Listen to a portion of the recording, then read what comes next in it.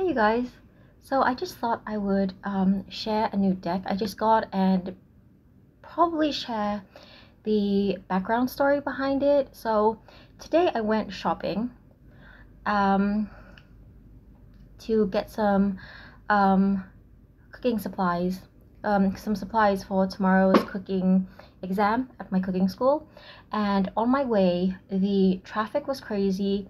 The my neighborhood was in chaos because I live nearby the um, Swedish embassy, and if you haven't heard, um, there's a demonstration in front of the um, Swedish embassy um, about the burning of the uh, Holy Quran in Sweden, whatever.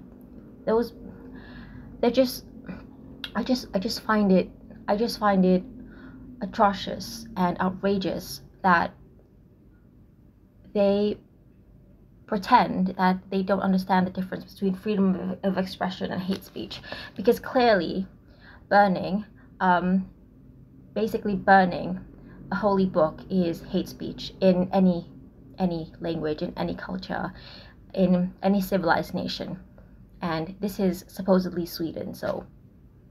But um yeah i went out and i okay this is this is for the cats. There are a lot of cats um, in my neighborhood. And so after I went back, I got back from the um, what you call it, the um, the supermarket.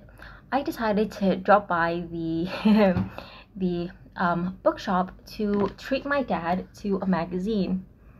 See, so I decided to buy my dad a magazine because I don't know, I just felt like treating my dad. Just thought I would just buy him something. So I bought him this magazine.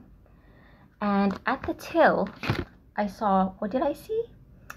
I saw this. I saw this tarot deck. It's called the Sufi Tarot.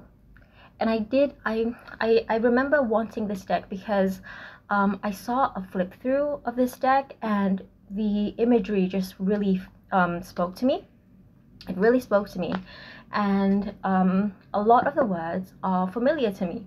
A lot of the words are um, probably words that were adopted from Arabic to Indonesian and I might actually do a flip through of this but with my um but with my shown which is not usually how I do my flip throughs but for this one because I am familiar with a lot of the words, the lingo used in this, I will probably do a flip through that way. Okay, so there's that. So I just wanted to share my new deck. Thanks for watching.